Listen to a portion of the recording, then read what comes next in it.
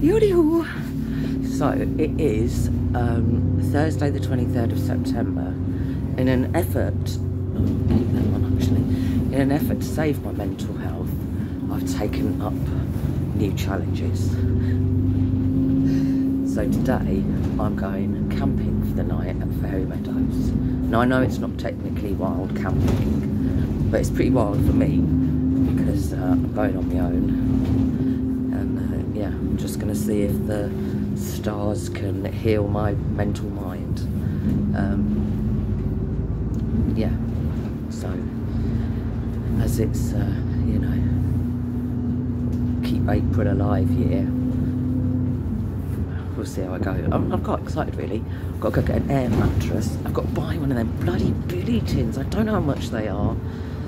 I'm gutted, coming from a long line of people, family and friends who I know. I know a certain friend's got a whole bloody shed full of kit I could have, so I'll be charging him for the cost because I could have got it for free. I've got to get some methylated spirits. Well, I've got some, I just need a smaller bottle to condense it in because I don't want to lug that big bottle about with me if they've got any of those um, cheapy pound barbecues, I'm going to get one of them just uh, take some sausages.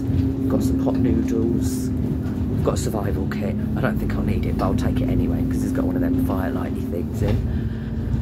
Um, so yeah, I'm feeling quite positive about today. Hopefully it'll all go well. Half, uh, Harvey warned me, you know, to be safe. I reminded him that we don't have bears and wolves in England anymore, so I think we'll be okay. I think I'll be okay. Um, he he didn't want to come with me, but I had to change the day because of college and Karen's going away for the weekend, etc. But um, when I had to change the day to today, he's changed his mind and he said he would come because uh, he thought it would get him out of school for the day. But it was, uh, yeah, nice try. Close, but no cigar. So I'm going on my own. Hopefully, I'll have a lovely time. And then um, maybe he'll come with me next week. So we shall see. Got a lovely day for it. Sun is shining. It's, uh, yeah, it's lovely. Oh, I'm going to get annoyed now if this camera doesn't turn around. What's going on? Why isn't that happening?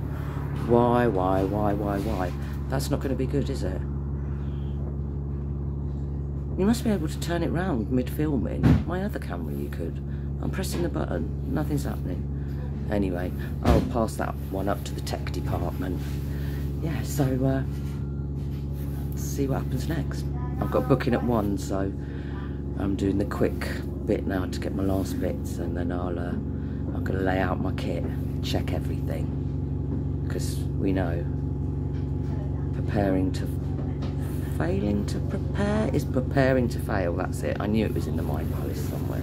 But you know what it's like when you're getting nearly 50 you know might be losing a few brain cells and you know we all know I lost quite a lot before um, oh I'm not going to go into brain fluidity and all that. Not on the back of the bus right laters